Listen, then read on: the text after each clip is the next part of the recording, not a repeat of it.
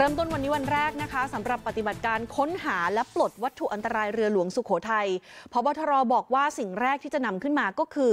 ป้ายชื่อเรือเพื่อเป็นขวัญและกำลังใจให้กับกำลังพลค่ะ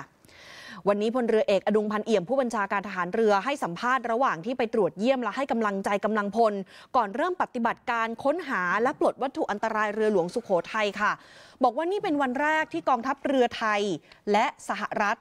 ร่วมกันปฏิบัติภารกิจที่จะเป็นหน้าหนึ่งของประวัติศาสตร์กองทัพเรือ โดยขณะนี้นักประดาน้ำชุดแรกที่เป็นกำลังพลทั้งของกองทัพเรือสหรัฐและไทยได้ลงไปใต้น้ำเพื่อปฏิบัติภารกิจแล้วค่ะ สิ่งแรกที่จะนำขึ้นมาก่อนเลยก็คือป้ายชื่อเรือหลวงสุขโขทัยนะคะ สาเหตุที่จะนำขึ้นมาเป็นอย่างแรกก็เพื่อว่าจะได้เป็นขวัญและกำลังใจ ตอนนี้ก็อยู่ระหว่างการตัดค่ะ กำลังตัดกันอยู่ใต้น้ำนี่แหละค่ะ หลังจากนั้นภารกิจในวันที่1ถึง5ก็จะมีการถ่ายรูปเรือหลวงสุขโขทัยตลอดทั้งลำและค้นหาผู้สูญหาย เพื่อนำมาประกอบสำนวนการสอบสวน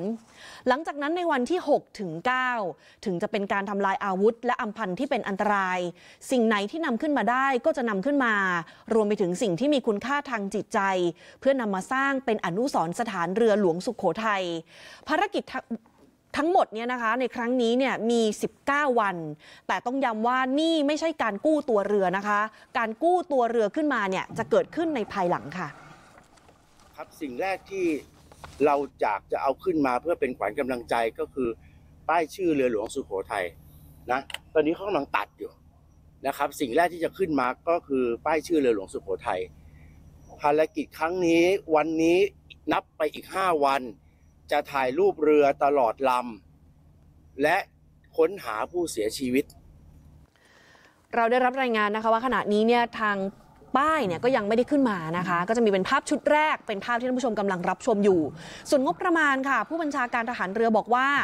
ตอนแรกตั้งงบเอาไว้ 200 ล้านบาทเพื่อเตรียมไว้กู้เรือใช่ไหมคะ แต่ว่าอุปกรณ์ต่างๆ ของบริษัทที่มาคุยกันจะมาประมูลกันเนี่ยมันมีไม่ครบ ฉะนั้นประมูลไม่สำเร็จก็จะนำส่งคืนคลัง 90 ล้านบาท เอาไปใช้ในส่วนอื่น ๆ ของรัฐบาลแทน ส่วนงบที่เหลืออีก 110 ล้านบาท จะเป็นงบที่ใช้ในปฏิบัติการครั้งนี้ค่ะ